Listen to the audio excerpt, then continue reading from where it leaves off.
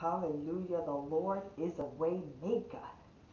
That is who he is. Miracle worker. Yes, Father, we bless your holy name. I thank God for another day that I am able to bask in his presence and come before you with an encouragement for today in our 32nd day of 40 days of transformation. You made it to 32 days. Give God a high praise. Hallelujah.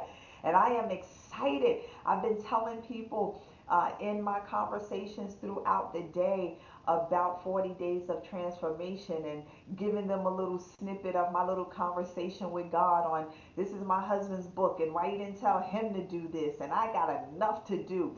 But God knows what we need and he knows that in order for me to be able to walk in the next that there is some transformation that needed to be done. And so I am always open and flexible and agile and pliable to what God wants to do with me because I want more of Him.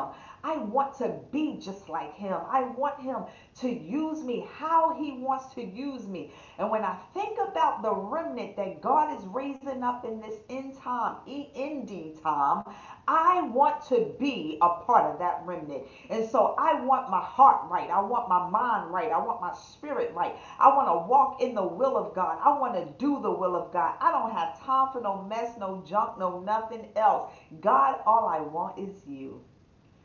And so I learn every day why he wanted me to do 40 days of transformation because I needed to be transformed. And so I pray that you are having a blessed time with me. And if it's just me by myself, I give God a high praise. Amen. And I count it a privilege to be able to bask in his word. Day 32, y'all. Again, if you haven't gotten this book, it is in the corner of your screen. If you're looking at the um, YouTube, um, version of this. Instagram may not be in the corner of your screen, but the link will be down below in the messages. You guys need to like, subscribe, and share 40 days of transformation so people can be blessed by the Lord, man. I don't want to hold any of this with me. I'm not about being spiritually overweight or spiritually diabetic because I'm hoarding all of God's word to myself and not helping anybody else. But we want the world to know they need to be transformed. Amen. And so, day 32, and the title is God is for you. Hallelujah. What is Pastor A saying about this? He said, if God be for us, who can be against us? According to Romans 8:31. When David saw Goliath, he knew God was with him and would help him slay that giant. He did not listen to negative advice from the elders or the warriors as they tried to stop him. They laughed and mocked him for his age and size, but David knew God was with him. And with the Father by his side, he knew everything would be fine. Sometimes God would allow your position because it is a part of his will.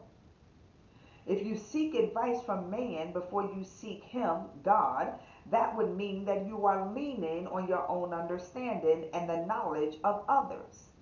To do his will is to be obedient to his every word and seek after his direction seeking. Hallelujah. This requires a relationship. And how do you develop a relationship? Pastor A said, I'm glad you asked. You build relationship by spending quality time. Some people will have good advice, but if but if it's not the will of God, you do not need to follow that advice. If it's contrary to the word, don't follow that advice. It is possible for good advice to take you out of the will of God. You may question the things that God has asked you to do and even think you have a better plan. Trust me, he said, your plan is not better. Amen. I tremble at the thought of how many times we choose to plan our way out, thinking we know what's best for us. Trust in God and stand strong, or stand on your own. Listen at this and fall hard. Wow. Trust in God and stand firm. because God is with you, or lean on your own understanding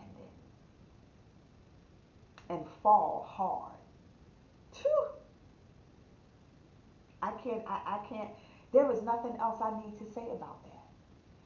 If you truly understand that God is with you, He's with you in the valley, He's with you in your Lodabar moments. He's with you when you go to the top of the mountain. He's with you in your frustration. He's with you in your temptation. He's with you when you make the wrong decision. God is with us. He is with you when you are in alignment. He's with you when you're talking gibberish. He's with you when you're praying the word of the Lord.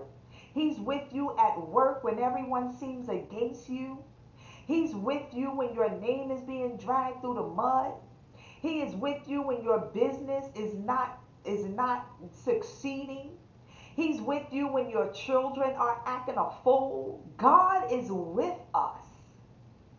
And if we understood how he is with us, and be you know why and how I know he's with us because scripture says that he will never leave nor forsake us. Never is forever. Ha! Never is forever. He will never leave nor forsake us. While we were yet sinners, the Bible declared Jesus loved us and he died for us. And so you need to understand that God is with you. And because he is with you through everything, it is imperative that we work on our relationship with him. How do you build relationship with Christ? You got to spend time with him and in his word and allow the word of the Lord to become alive to you. And how does it become alive to you? You apply it to your life. Alive means application. And God is already with you, but He is not going to apply Himself to your life. He said, I stand at the door knocking. If you would let me in, I'll come and make an abode with you. That means I will come and eat with you. I'll come and sup with you. He said, but but in order for him to come and sup with you and eat with you, you got to open the door. And so opening the door to Christ is the first step of application. Then you got to open his word. And when you open his word and you read those words that, that he is saying to you, out of the word of the Lord and you apply it to your life, now you are building relationship. Father, you told me not to lean onto my own understanding, but acknowledge you in all of my ways and you would direct my path. So, God, they are offering me this job, and yes, it is paying more money, but I don't know if this is you or not. Can you confirm to me if this is you? Because he said that the blessing of the Lord make us rich and he add no sorrow to it. Okay, and so the job is paying you $20,000 more Well, that is a blessing and it is making you $20,000 more rich. But is it sorrow to it? The sorrow in it is that you got to move and then you got to work six days a week. And guess what? You won't be able to go to worship the way that you do. And you won't be able to do your ministry the way that you do because you just got this huge promotion because the blessing of the Lord make you rich. But if there is sorrow to it, then it is not the blessing from the Lord. It is the lust of this world hallelujah, to, to, to gain more financially, to gain more, more uh, um, um, aptitude in your aptitude in your company, to gain more pride about yourself because you've been promoted. But the blessing of the Lord is not on it if it brings you drama. If it brings you sorrow, it is not a blessing from the Lord. Hmm. Know that God is with you. And understand that everything that's good is not Him. My husband says it wonderful. Everything that is good is not God. And so just when you think, wow, I had a good idea, and, and here he comes shutting it down. Uh-uh.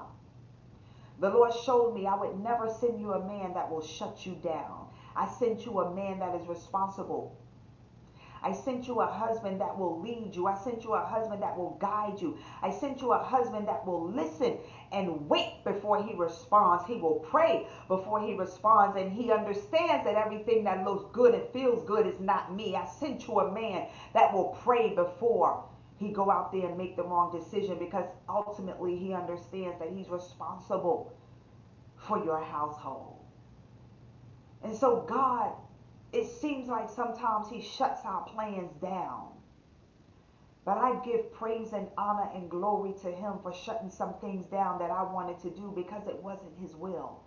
And it would have brought sorrow to my life. So you got to understand when God is with you. Every day is not going to be peaches and cream where he say yes to everything that you want. Because everything that you want is not the will of God for your life. But he will give you everything that you need. And the Bible says it like this that he is able to do abundantly and exceedingly above all that you can ever ask or think. That is his will for your life. But you got to get in alignment. You got to build relationship. You got to be able to hear his voice. You got to be able to slow down and don't respond so quickly, but wait and hear what the Lord is saying. And if you got to make a decision, God knows that you have to make a decision. But He will not be threatened by time. He is time. What is time to God? And so if somebody is waiting on a decision and you have to make it right now, then maybe that's not the one that's not the thing for you to do. Because nobody will tell God when to make a decision. He will always walk you into your season right on time. So don't be dismayed if you missed it. If you just didn't know, if you didn't hear God yet. Don't be upset. His perfect will is being done in your life. But you got to trust him. And you got to know that he's with you. Declare these things with me. My eyes have not seen, my God, nor my ears have heard what God has in store for me. But I will stand on his word, trust in his plan for my life. And I declare that I am victorious in Jesus' name. I want to declare that again because I felt something in that. My eyes have not seen. This is the word of the Lord, y'all. This is the word of the Lord that we are declaring.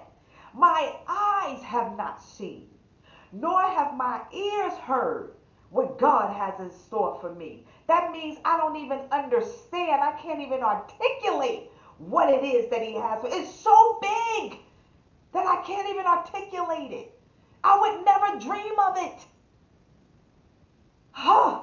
My eyes have not seen, nor have my ears heard what God has in store for me. But I will stand on his word and trust his plan for my life. And I declare that I am victorious in Jesus' name. Will you trust God's plan for your life? I guarantee you it's better than your plan. hmm. We're going to bask in 1 Thessalonians 5 and 18 today. And it declares, give thanks in all circumstances. For this is the will of God in Christ Jesus for you. Give thanks in all circumstances because this is the will of God. God doesn't want us complaining, murmuring, getting upset, emotional, saying things we don't mean that we're going to have to repent for. He wants us to give him thanks in all circumstances. In all. It doesn't mean that you're thanking him because you don't feel good. Father, I thank you that I don't feel good today. It doesn't mean that. It just means that you know that he is bigger than what your circumstance is. And so, Father, even though I don't feel good today, you are bigger than my circumstance. Jesus took the stripes on his back that I might walk in healing. So I thank you for my healing. Father, my sinuses are drained and I can't even hear myself talk. But I give you praise because Jesus Christ died for my infirmities. Hallelujah. Doesn't mean that you're happy, that you don't have what you want, but you know that God is greater. And so, in all things, in all circumstances, give the Lord thanks. Father, we give you praise and glory and honor today. I worship you, God. I bless your holy name because you're worthy of all praise. You're worthy to be exalted and lifted up, Father. In fact, you said if you be lifted up, that you will draw all men unto you. And so, Father, I lift you up today. I lift your name on high. I praise you because you are God. I praise you because you are Jehovah Jireh, the Lord that provides. You are the God of Abraham, Isaac, and Jacob, Father. And I give your name praise that you've allowed us another day to come into your presence, Father, to worship you because your word declares that we were created to worship you. And so, Father, I thank you. I give you glory and honor and praise.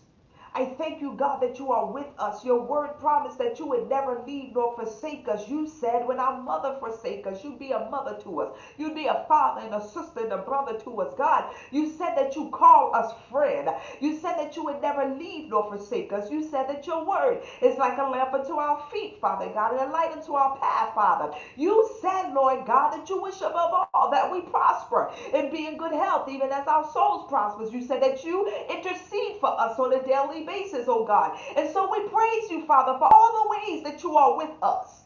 Hallelujah. Hallelujah. Hallelujah. I thank you, God, that you are with us. I praise you, Father. You said that if you didn't go back, that you couldn't lead, that you couldn't send the Holy Spirit that will bring us into remembrance of all the things that you've said and lead us and guide us into all truth. And so, Father, you went to prepare a place for us.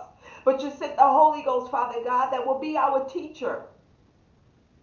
Father, again, this shows us that you are with us. And so I praise you for being with us today, Father. I thank you, Lord, for never leaving us, never forsaking us. And even when we feel like we can't trace you down, Father God, you are right there with us. And so, Father, I pray for your people today that doesn't think that you're with them. They don't think that you see them. They don't think that you feel them. They don't think that you hear them. Father, I pray that the Holy Ghost, hallelujah, will touch their hearts, Father. I pray that you will light that candle, God, so that they so that the fire of God might burn on the inside of them once again. Hallelujah, Jesus, I praise you. I give you glory, I give you praise, and I give you honor. And it is in the matchless name of Jesus Christ that we praise him, we thank him, and we love him. Go in peace today and understand that God is with you. He is never ever leaving you. Even when you walk away, even if you have backslidden, God has never and will never change his mind about you. He will never change his position about you, but he will stand flat footed like a tree planted in the rivers of water and wait for you to return to him. Hallelujah. He has not forgotten you. He will never give up on you, and He is always with you. God bless you. We love you with the love of the Lord, and we will see you tomorrow, God willing. Amen. Hallelujah.